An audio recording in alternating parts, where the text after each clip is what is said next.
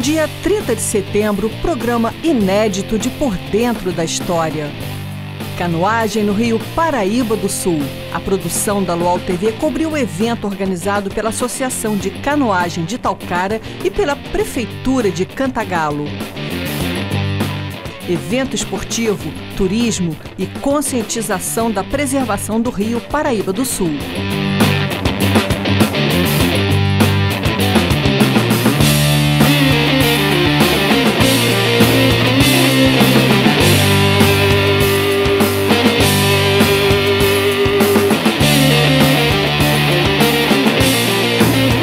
Luau TV, o seu canal com a história de sua cidade e região.